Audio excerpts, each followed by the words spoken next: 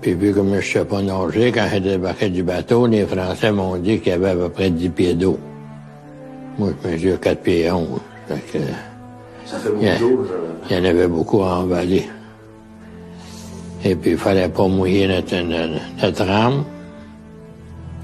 Alors, c'était fait. Je l'ai mouillé pour vrai.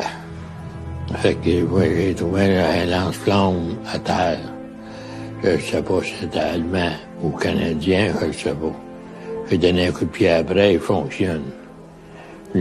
Toastés. Fuck 'em all, the world's full of cunts. I'm seeing red must be my time of the month. Look, when I bitch and rant, they just shit their pants. So they fix a plan for when it switches up.